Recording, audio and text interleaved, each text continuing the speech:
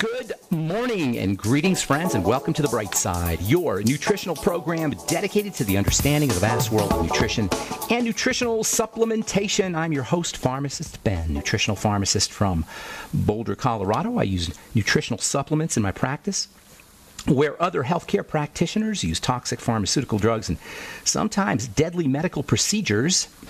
If you suspect that there are natural nutritional roads to your vitality and health and well being, and to addressing your health challenges, whatever they may be, but you don't know where to begin, you have come to the right place. As you listen to the bright side every day, you are more and more in control of your body. You are more and more knowledgeable, and you know you can overcome any health issue. That's why we're here every day on the bright side, helping clear up the sometimes confusing world of nutrition and nutritional supplementation.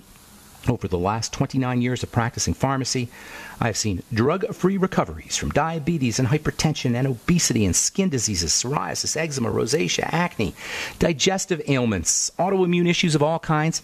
Recoveries that, by the standards of modern medicine, can only be called a miracle, but what is in the world of the body, what is in the world of biology, standard operating procedure because the human biological system is a healing system, it's a regenerating system. It is designed divinely to heal and renew itself on a moment to moment basis. And while some folks may call that renewing system a miracle, it really is just the way the body works.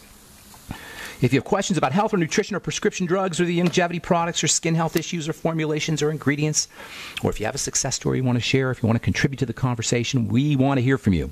844-236-6010 is our number. 844-236-6010 let us help you change your life today. I'm dedicated to you and your health and the health of your family and loved ones. I've been doing this for 32 years. I've worked with many thousands of people. Not that it's rocket science here folks. It's really quite simple as we're going to talk about here in just a minute Anyway, 844-236-6010 is our number, and please feel free to call in if you just have a comment or certainly a success story. If you want to purchase any of the Youngevity products you hear recommended on the program or advertised on the program, please go to brightsideben.com, pharmacistben.com, or criticalhealthnews.com. You can order products right off the website, including our Beyond Tangy Tangerine. Makes a great Christmas gift. Makes a great gift for folks in nursing homes who aren't feeling well or just somebody you want to help. Beyond Tangy Tangerine, OsteoFX, the Healthy Start Pack, Biolumin Nightly Essence, they're all available. They're all available at brightsideben.com, pharmacistben.com, or criticalhealthnews.com. Okay, so last we spoke, we were talking about a health challenge, a complex of, of various symptoms that are given the umbrella term metabolic syndrome. Used to be called Syndrome X. Some people still call it Syndrome X. Metabolic syndrome can be thought of, in my opinion, as the single most important health crisis that we are facing. That really the entire planet is facing, at least in terms of non infectious, long term degenerative health challenges.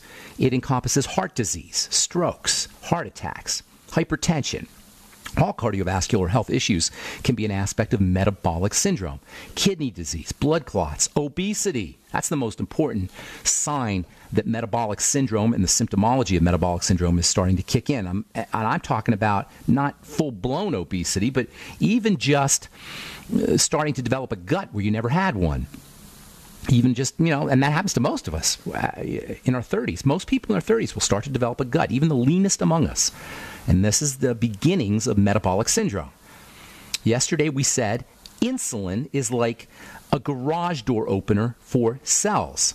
Metabolic syndrome can be thought of as insulin resistance syndrome. Cells stop listening to the garage door opener. What happens then is cells starve. And because all disease is cell disease, this is where illness starts cells become malnourished following, secondary to, their resistance to the garage door opener, to insulin. They become starved. They become malnourished. They can't do their business. You're not going to hear about this uh, in advertising. You're not going to hear about this uh, in the news because you can't make money by resensitizing cells to insulin, or at least you don't need to sell a product. You don't need to buy a product. It's very, very simple resensitizing the body, resensitizing cells to insulin is simple, it's easy, it's cheap, and it's the single most or I don't want to say the single most because working on the digestive system probably comes first. And by the way, insulin resistance follows digestive distress long term. So first comes the digestive system, then comes the blood sugar system. We talk about this every day. I've been talking about it for 20 years. First comes the digestive system, then comes the blood sugar system. I didn't even know what metabolic syndrome was. It didn't even exist when I first started talking about the importance of resensitizing your body to insulin. I learned about it because I used to be a bodybuilder. And bodybuilders and serious athletes and, and weightlifters, they know good and well about the importance of insulin. It is a big time building hormone, anabolic hormone. It feeds cells. It's a cell feeder. Of course, it's going to be anabolic. I remember back when I was a hardcore weightlifter, I was working out. I wasn't really one of the big boys, but I was hanging out with the big boys. And I was always amazed by all the incredible scams they would pull just to get bigger and stronger. And if you're a bodybuilder out there or a weightlifter, you know what I'm talking about. Bodybuilders will do anything, or the serious ones will do anything to get bigger, at least back in the day and that includes steroids. And there used to be a guy who would go basically door to door, gym to gym, selling steroids, and, and he would also sell insulin. Insulin required a prescription. But weightlifters and bodybuilders, they were injecting insulin because insulin makes you bigger. Insulin is a bodybuilding hormone. And bodybuilders will do anything to get bigger. I'm certainly not recommending it. You know, farmers will sometimes give their cattle insulin to make them bigger. So insulin's an anabolic hormone. It's like testosterone in that way. They're both anabolic and they both work together. And they're both antagonized by female hormone, by estrogen, which is made in body fat. If that's not a reason, folks, for men to lose body fat, I don't know what is. The more body fat you're carrying, the more anti testosterone, anti insulin effects you're going to have. The more feminized you're going to be. The harder it's going to be to bodybuild or to build a body, to build muscle. All your male functions are going to become suppressed as the more body fat you carry. Losing body fat is a natural Viagra, FYI. This is one of the reasons why it's so important to lose body fat if you want to be anabolic or you want to be building. Not only is body fat not attractive, it antagonizes insulin, it antagonizes testosterone. These days, so many people are interested in testosterone building, andropause, they call it, where uh, a, a, male version of menopause, where male hormones drop in guys the way female hormones drop in, in women when they go through menopause. They call it andropause, andro being the prefix for male. And andropause is marked by testosterone deficiency. So everybody wants to know, men, uh, all men want to know how they're going to boost their testosterone. That's a no, if not the number one, it's close to the number one question that I get via email: how to boost testosterone. And there's lots of nutrients for doing it, but first and foremost, you want to think of it as an insulin and body fat issue. You don't need any fancy schmancy supplements to boost your uh, male hormone effects, boost your testosterone effects. The easiest and simplest way. And pr- the first thing you want to do, even if you are going to use supplements, the first thing to do is drop body fat, eat less body, uh, eat less uh, bread, eat less sugar. Eat less cereals, eat less of the foods we all love, eat less of the foods we're all addicted to. In other words, what's going to happen is you're going to resensitize your body to insulin. You're going to resensitize your cells to insulin. Insulin resistance follows excessive secretion of insulin, which follows itself eating the crap, eating the sugar, eating the bread, eating the cereals. And I'm not a food Nazi here. I know I've said it before. I'm going to say it again. I eat it too. But I'm just saying, if you want to be anabolic, if you want to look for ways to boost your male hormones, if you want to become more masculine, and by the way, isn't it interesting how uh, seemingly governments want us domesticated by eating sugars? The, the culture wants us domesticated by eating bread. Bread is domesticating food, it's feminizing food. It's food that takes away our edge via this insulin effect. So, anyway, eating less of these kinds of foods, all the foods we love, all the foods we're addicted to, all the foods we're encouraged to eat by governments and purveyors and marketers and uh, by eating less of these foods, by using our willpower to eat less of these foods, and by eating more protein, by eating more anabolic foods, by eating more foods that don't have a dramatic effect on insulin, we will resensitize our body to insulin and resensitize our body to self feeding effects, ultimately building things, becoming anabolic, and boosting our testosterone at the same time. All right, I'm Pharmacist Ben. You're listening to The Bright Side. 844 236 6010 is our number. We'll be back right after this. Thank you for listening to GCN. Be sure to visit GCNlive.com today.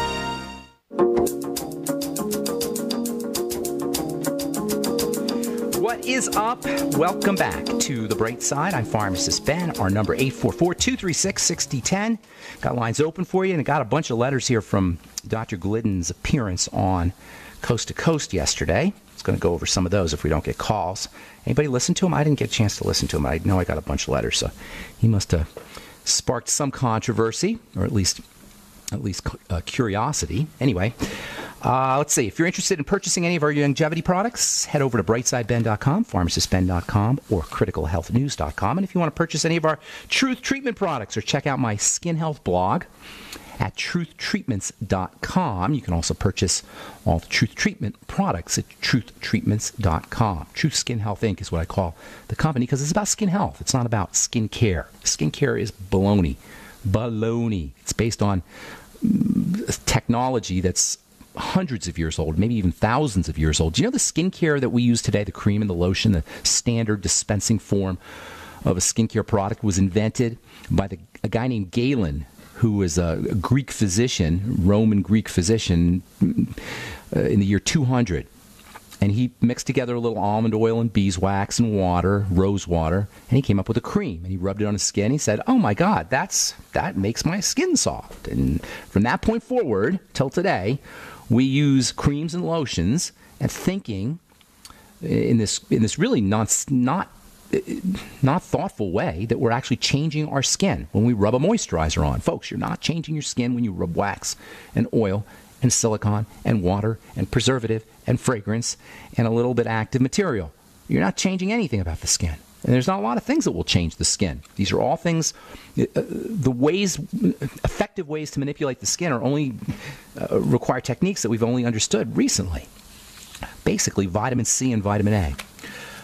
Anyway, you can find all about it at truthtreatments.com, truthtreatments.com. From Let's see. Uh, from the journal Diabetes and Vascular Disease Research, diabetes drug could protect the heart. Hmm, interesting. New research has shown the promising potential of a new glucose regulating drug to protect the heart. Well, why do you think that is? Because diabetes drugs artificially lower blood sugar, artificially, pharmacologically potentize insulin thus demonstrating the critical nature of making your insulin more sensitive if you want to keep your heart healthy. It's part of metabolic syndrome. Folks, if you are on a statin drug, if you're on a blood thinning drug, if you're on a beta blocker or a calcium channel blocker, and your doctor's not told you about metabolic syndrome, maybe you want to tell him about metabolic syndrome. If you're on any kind of heart medication and nobody has told you about lowering your blood sugar and restoring your, uh, your insulin sensitivity, you're being bamboozled. Not only now are you not doing anything for the final problem, for the ultimate problem, which is insulin sensitivity, but you're exposing yourself to toxicity that's going to further burden your body. So, resensitizing cells to insulin is one of the single most important steps. Next to the digestive system, it is the single most important step in restoring your body back to health and stopping the progression of degenerative disease. Requires no doctors requires no medical intervention. It doesn't even require a lot of money. You know, we're encouraged to eat these kinds of insulin spiking foods, foods that that compromise our blood sugar and our insulin system. We're encouraged to eat these foods if you're traveling or you need some quick nourishment. You know, you may be able to get some burger somewhere, processed meat, hot dog, or Arby's or something, maybe some fried chicken. But you're going to be very, it's very going to be very difficult to obtain uh, other than a, a, hamburger or something like that, it's going to be very difficult to obtain quality protein and quality fat. Oh, you're going to find fries and breadsticks and pretzels and burritos. Uh, but there's just no money in quality protein and quality fats. But that doesn't mean we have to fall for it. You know, carry around some whey protein powder with you, carry around some Slender FX with you, carry around your Ultimate EFAs. The Ultimate EFAs and, and the uh, and the Slender FX and whey protein are incredibly satisfying and they're pretty easy to travel around with. Potentizing insulin, in large part, is, is a, fact, a function of uh, eating more protein, quality protein, eating more fat, quality fat, especially coconut oil, in my opinion, and micronutrition. And resensitizing cells to insulin. This is why anybody who's serious, who gets paid for, or who is just